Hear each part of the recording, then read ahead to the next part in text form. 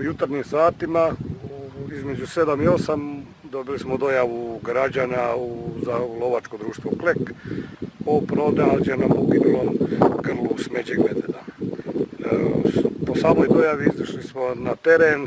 i utvrdili da je grlo približno starosti 3 godine medvedica, žensko grlo, pronađeno u predjelu lovišta Klek, kraj Marković sela, te smo odmah obavijestili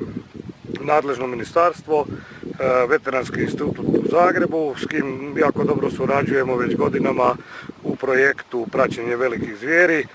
U ovom trenutku smo isporučili medveda, Veteranski fakultet iz Zagreba je preuzeo e, leš medveda i očekujemo kroz narednih jedan do dva dana rezultat, odnosno nalaz od čega je medved, odnosno medvedica uginula i onda dalje ćemo imati dalje podatke za objaviti.